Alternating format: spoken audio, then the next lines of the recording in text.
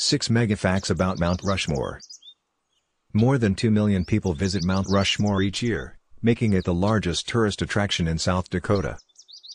The visionary sculptor behind the monument, Gutzon Borglum, called the monument a shrine of democracy. The faces of Presidents George Washington, Thomas Jefferson, Theodore Roosevelt, and Abraham Lincoln symbolize the founding of the nation and its timeless values. Some text goes here but did you know that Mount Rushmore was controversial from the start? The Fort Laramie Act of 1868, signed into law by the United States government and the Sioux states, reserved the Black Hills exclusively for Sioux peoples.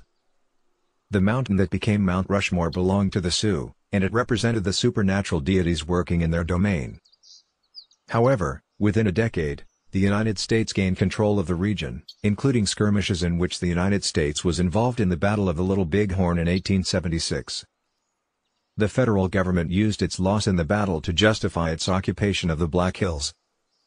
In 1925, Borglum began designing the monumental memorial at Mount Rushmore.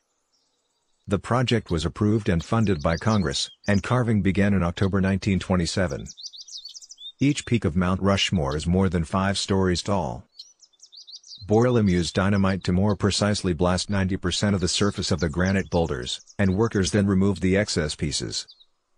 In total, nearly 400 men and women spent more than 14 years working on the monument. When the statue was completed in 1941, each presidential head was approximately 60 feet tall.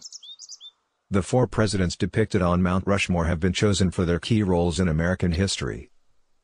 Completed in 1930, the monument's sculpted face represents the founding of the nation. Dedicated by Thomas Jefferson in 1936, it symbolizes the growth of the United States, thanks to its authorship of the Declaration of Independence and its role in the Louisiana Purchase and the Lewis and Clark Expedition. Borglum chose the figure of Abraham Lincoln, dedicated in 1937, to represent the American state for his efforts to preserve the nation during the Civil War. The year ended in 1939, and Theodore Roosevelt symbolized the United States' evolution as a world power and worker hero as he fought to end corporate monopolies. Over the decades, various additions to the deities of Mount Rushmore have been proposed, including Chief Susan B. Anthony, Presidents John F. Kennedy, Ronald Reagan, Franklin Roosevelt, and even Barack Obama. Borglum envisioned the hall to be decorated with busts of prominent Americans and a giant gilded eagle with wings standing 38 feet above the entrance. However, Congress ultimately refused to seize the funds.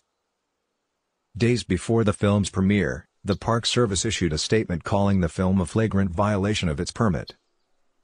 However, the local Sioux Falls newspaper acknowledged the film's legacy, writing, This picture is clearly worth its weight in gold for Rushmore from a publicity standpoint.